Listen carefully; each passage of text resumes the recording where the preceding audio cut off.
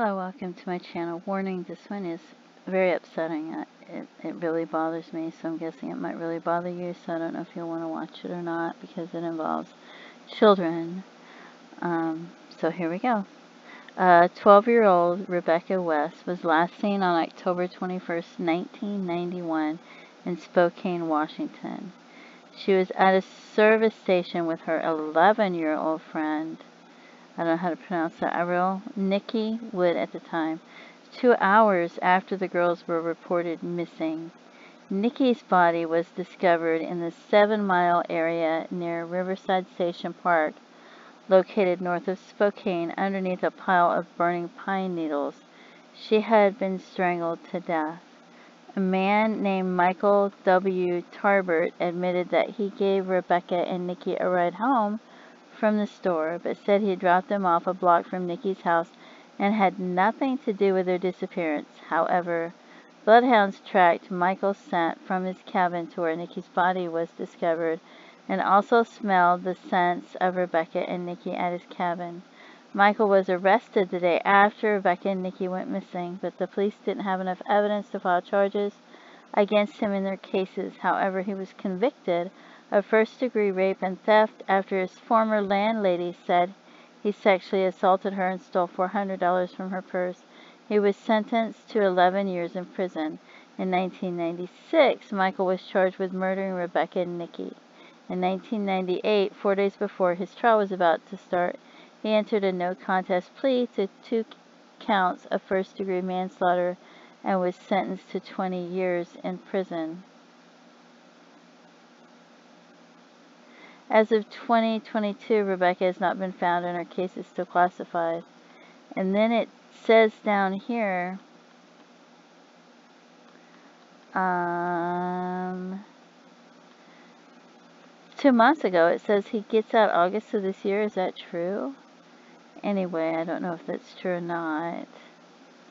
And then here's another one that talks about it as well and it has their date of birth. It says her nickname was Becky. It talks about what she was wearing.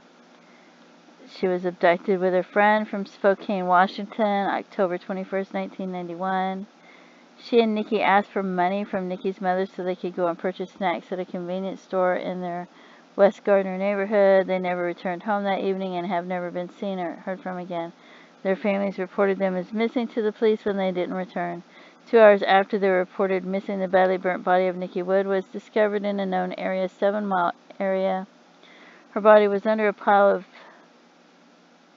pine needles, burning pine needles that had been set ablaze. Um, they identified the body a couple days later. There was no evidence of Rebecca. They haven't found her.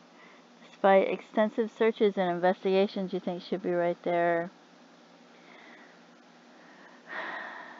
Her family hoped for a bit of time that she would still alive, but now accept she's likely dead. Michael W. Tarbert was immediately named as a suspect. He admitted to being a drug addict and alcoholic, but maintained he wouldn't hurt anyone. He lived in a cabin not far from where the remains of Wood were discovered and was well acquainted with her mother. He was questioned by police regarding the case, but maintained his innocence and admitted to seeing the girls on the day of their abductions. Witnesses saw the two girls getting into his vehicle. He said he gave them a ride and dropped them off a block away from the house. Tarbert was staying at Wood's residence during the day of the crime, and it was the first day he had ever met West.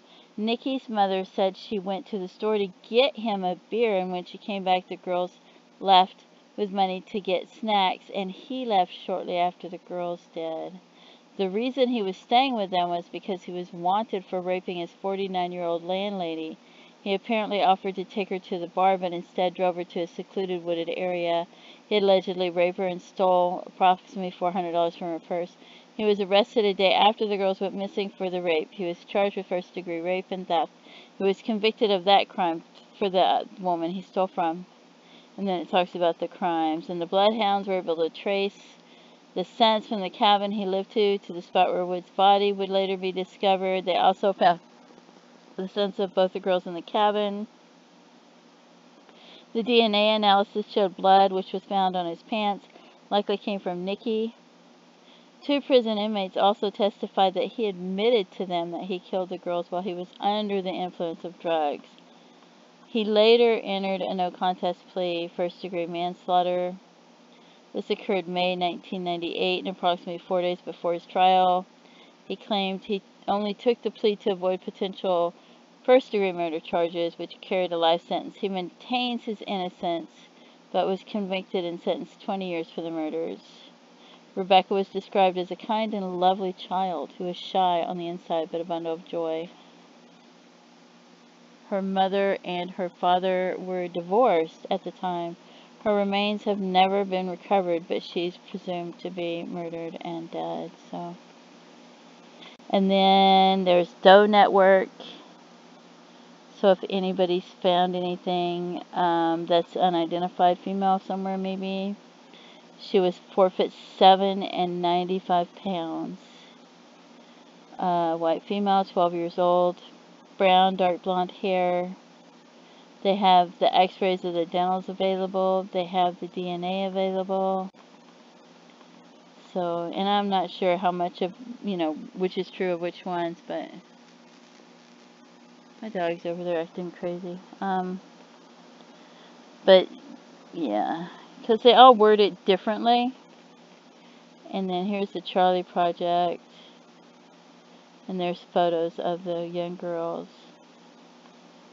And this would be an age progression if she lived, I guess. But 4 foot 7, 90 pounds, 12 years old, black shirt, black pants, black shoes, blonde hair, brown eyes. This one says blonde hair, brown eyes. What does the other one say? It says brown hair, dark blonde, brown eyes. So her ears are pierced. And this talks about it. She was accompanied by her friend and elementary school classmate. So, yeah, they found the one girl under a pile of burning pine needles only two hours after the girls disappeared. She had been strangled. But they couldn't find the other girl. So I don't know where he had the other girl. So I don't know if she was still alive, and I don't know. I wonder if they looked in the trunk of the car. I don't know. I hate that. You feel like maybe she was alive because it was only two hours later, but where was she? And the dogs could smell the two girls' scents in the cabin.